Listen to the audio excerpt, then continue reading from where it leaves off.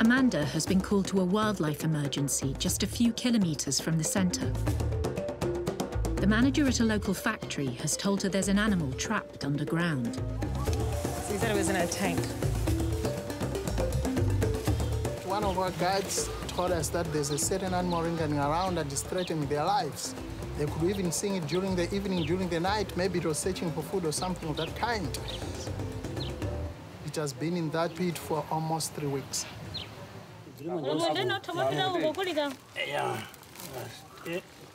So we have a monitor lizard that is in this well down here, and he must have just fallen in or got caught in some of the drainage. So we're gonna see if we can get him out. So on the seat, it has gone under. Monitor lizards can grow up to two metres and weigh 20 kilograms. They have strong claws, powerful tails, and sharp teeth. What might help is he's trying to go underneath, but it might just be on the top moving around. So if he was to take the net and sweep it like this, and like this, and like this, then he can have a better chance. mmene mukuyendesera mwe koma muyese kuyendesa mwachangu alaundi mujeni muzenje musemu I love it when people ask me what is a typical day because you have no typical days. a job like this, you're always getting thrown new and different things that you've never experienced before, right? I saw it. Sometimes it's kind of terrifying because you're like, am I prepared? I'm not sure. and, and you don't know until you jump in there. No, that, that, ahead, that one. You have me. Ah! Together, together, together, together. You, you can do it. Ah, wait, wait, wait, wait. It's okay, it's okay. It's okay, it's okay. Just, just, just. It's okay. What we need to do. Wait, wait. Can you, somebody come hold this here? Somebody come hold this here. And you hold this here. Last thing, give me the blanket. Yep, yep.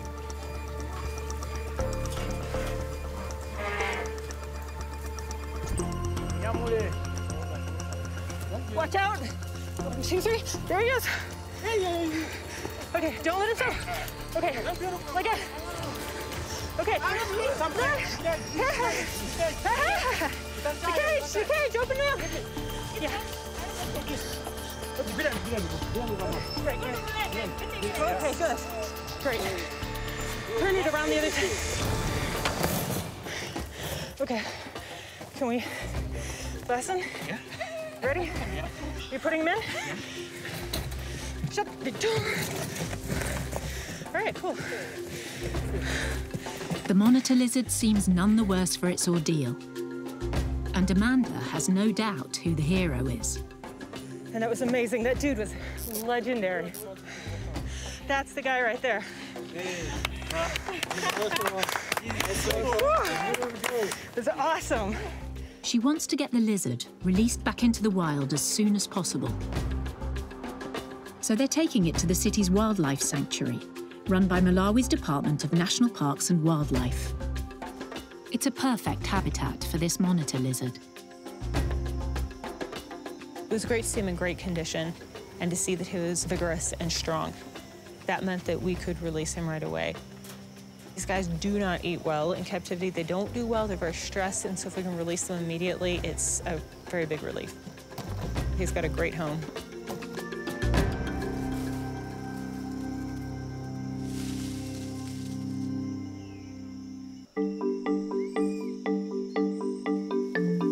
The centre welcomes any wild animal in need of help.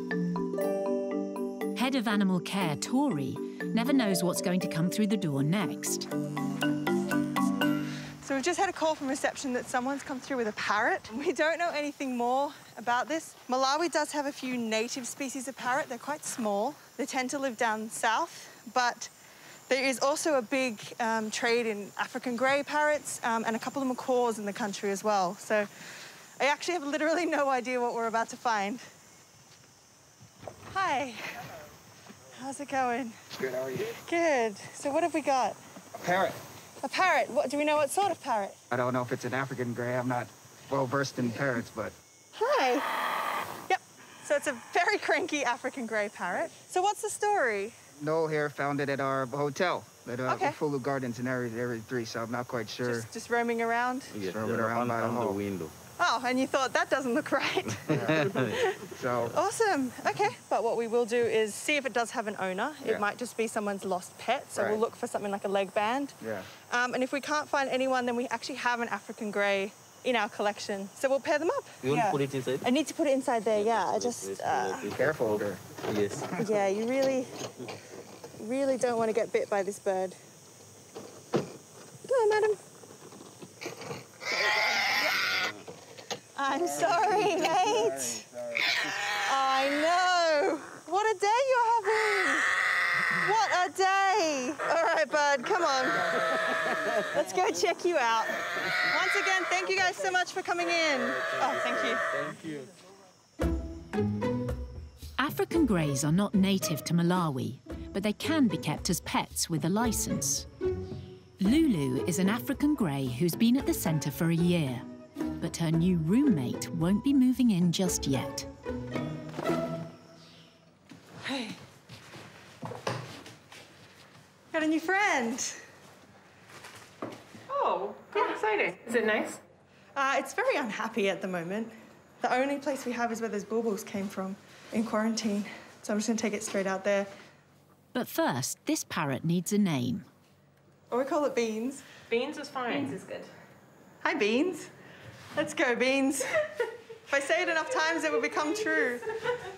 Every new arrival has to spend time in quarantine to make sure they're free of any infection before they join other animals. The house I want to put this bird in is currently occupied. So Ella's just run up ahead to make a swap. We'll get you a nicer house, bud. I'm sorry, but you're small and this parrot is big.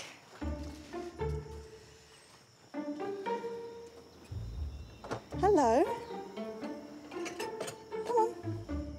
You're a good girl. Oh boy, I'm not really sure. In the wild, these highly intelligent birds eat fruit, leaves, and insects. But in captivity, they have a different diet. So the people who brought it in are not its owners. But knowing what I know about what people feed captive parrots, this is highly likely to be what it's used to eating. It's going to probably want to go straight for those seeds because they're little chocolate bars. I'm to let it come out in its own time. All right, new friend, we'll see you later. The animal care team have discovered that Beans the parrot is a boy, and he's been making himself heard.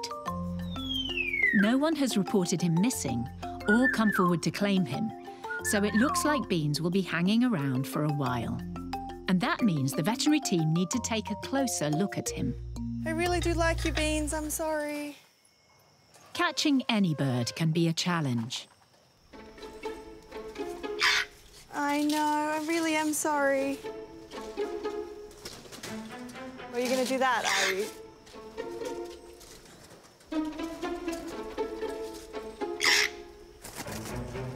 You're gonna decide you do actually know how to fly.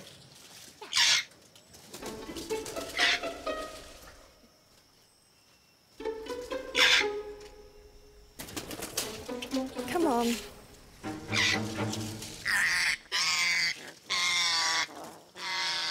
All right, sweetheart. I'm sorry. Right, come on then, sweet pea. Let's have a look at you. I'm really sorry. Always, we was trying until we saw your face.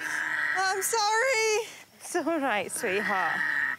Parrots can be quite challenging. They're definitely strong characters, uh, and it comes a, a bit of a battle of wills. I want to examine them. They have different plans.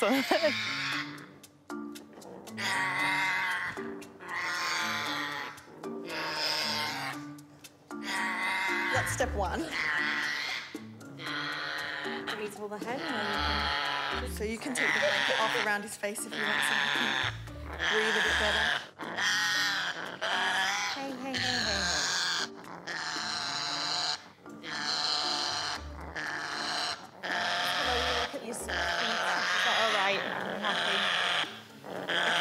Cannot hear a word you're saying. I'm gonna look at his feet. So he's got a previous broken toe.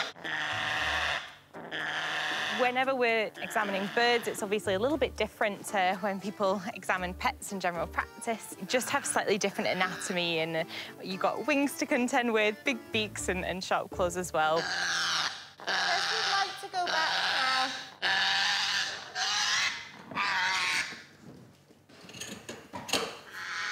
You got a headache? Yeah, well. So what the checkup today taught us is that overall Beans is in quite decent health. He is a little bit thin, um, but that's something we can easily fix. Uh, he's proven to us he has a stellar appetite, so I'm sure we'll be able to put that weight back on him really soon.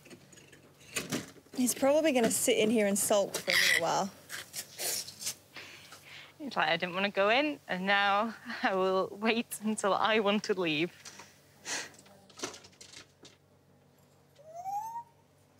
Get you all ruffled up.